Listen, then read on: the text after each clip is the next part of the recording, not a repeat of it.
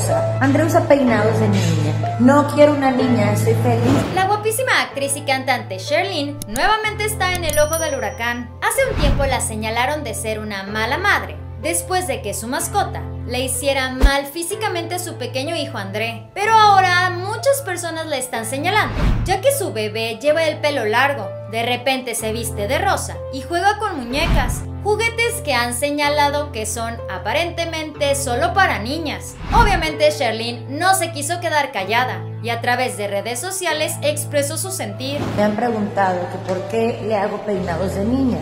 A ver, les platico.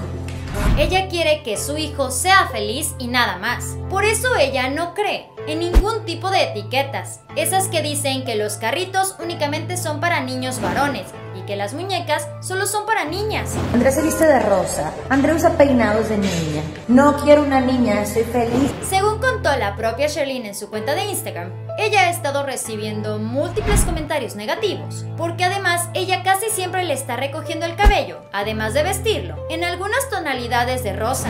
Pero yo no tengo problemas con que André tenga un chonguito que le pica el pelo en los ojos y no ha podido... Sherlyn dijo que para ella el color rosa simplemente es un color, que ella no tiene nada en contra de que su hijo use este tipo de ropa, porque así como puede usar el rosa, puede usar el azul, el verde, el amarillo, el morado o el negro, no importa.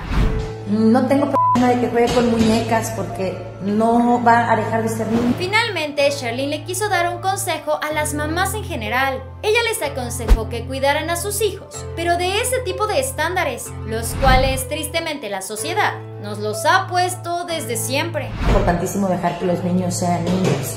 No tienen idea en la cantidad de mensajes. Sherlyn dio a conocer que a ella le parecía sumamente importante dejar que los niños sean eso, simplemente niños, que ellos se diviertan y que no le pongamos a los niños juicios de adultos. Para ellos no es importante, es un peinado, es un color, es una Barbie, no importa.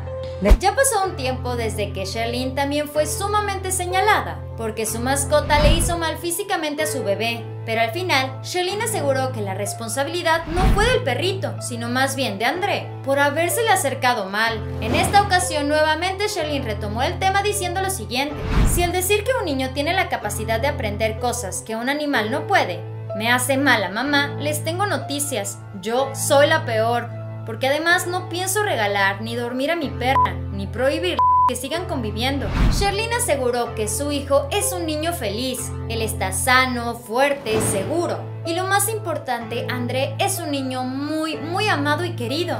Aún así, es importante recordar que cuando Sherlyn dio a conocer que estaba embarazada, rápidamente los señalamientos llegaron a su vida. Todo el tiempo a la actriz y cantante se le cuestionaba quién era el papá. Y aunque muchos medios han tratado de encontrarle papá al bebé de Sherlyn, ella sigue asegurando que no lo necesita, que él tiene mucha mamá. Esto fue Famosos de Cerca. Dale like a este video, suscríbete y síguenos en Facebook. Espero que tengas un excelente día. Nos vemos muy pronto. Bye.